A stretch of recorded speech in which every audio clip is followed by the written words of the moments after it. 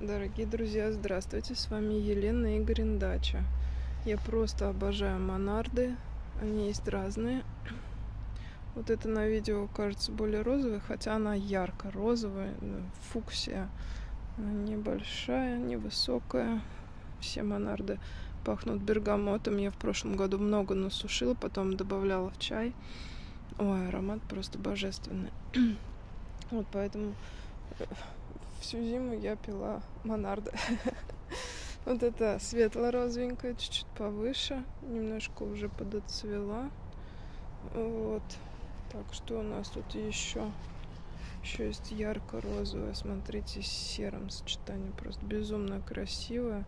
Вот она такая вот вся набитенькая, такая вся аккуратная, листики у нее темненькие, ну просто украшение сада. Я вам сейчас еще покажу еще повыше. А еще она есть ярко-фиолетовая. Просто они в разных местах у нас.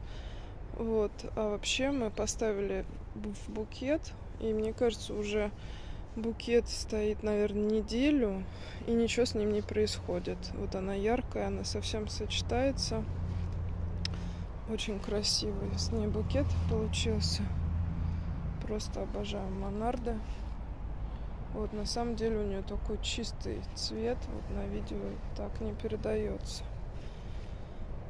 Проходишь и запах невероятный. Кто любит растения с запахом, вот вам нужны монарды. Настоятельно советую.